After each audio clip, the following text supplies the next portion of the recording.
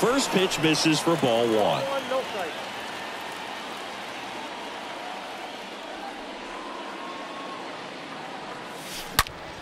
Oh, now this one's high and deep. Way back there. On its way. Gone. Me gusta la chori dominicana y mori. No me A towering muere, yo le shot to right, and they close the gap. It's 4-1.